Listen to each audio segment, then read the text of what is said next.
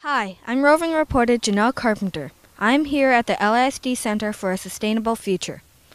As you can see behind me, things are shaping up. Let me show you around.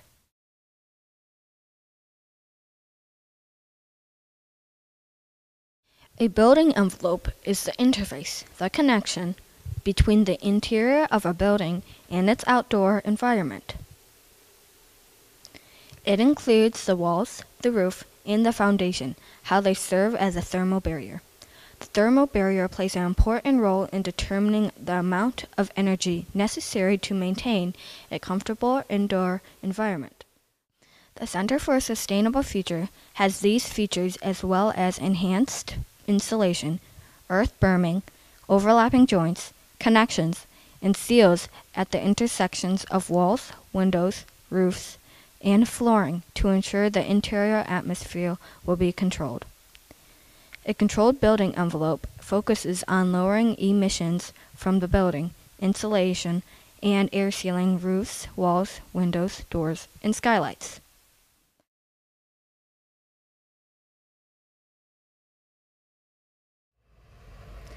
The black vegetative or green roof tray system is a way to control plant environments. The vegetation prevents the rain from quickly running down the roof surface and off-site. Instead, water percolates through soil and feeds plants through the rooting systems in the process. The vegetative roof tray and planter box systems also provides a storage component and enhances the quality of runoff through natural filtration. The system is composed of layers the waterproofing layer on the roof, the soil, and the plant layer. The waterproofing layer includes a rubber membrane. The soil layer adds many pounds per square foot of weight to a roof, depending on the size of the garden area. The building was engineered to hold the additional weight. The system can significantly extend the life of the roof and reduce the heating and cooling costs of a building.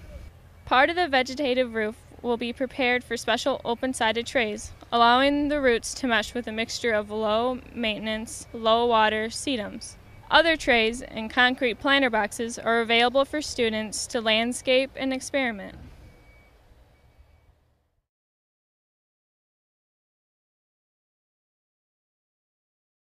The solar tube, solar tube lights, or daylight tube lights have a roof mounted unit, typically a clear dome that captures sunlight. Full spectrum sunlight travels down the tubular daylight device. Sunlight hits a frosted glass diffuser and illuminates a room with bright, indirect light. Controls and motion sensors are installed for turning LED fixtures on and off for daylight control on campus. Solar tube lighting cuts down the need for artificial lighting, saves energy and costs. The indirect lighting is more comfortable to the eyes, and studies show that people are emotionally happier when working in natural daylight.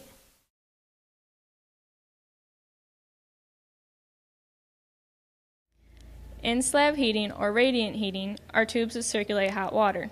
They are installed in the concrete slab when it's poured, which turns the thermal mass of the concrete into a radiator of heat. The natural water source is pulled from a heat pump in the geothermal well on the Center for Sustainable Future campus. The water is pulled from the earth, heated, and pumped through tubing or conduits, which then warms the floor. Radiant heating has the advantages of being inconspicuous and cost effective, while providing a warm, even comfortable heat. These heating slabs are installed in the floors of the entrances under the carpet wells and throughout the entire new greenhouse flooring. Although energy use is a major reason to use radiant heating, the plants in the greenhouse will also benefit from the heat during cold months.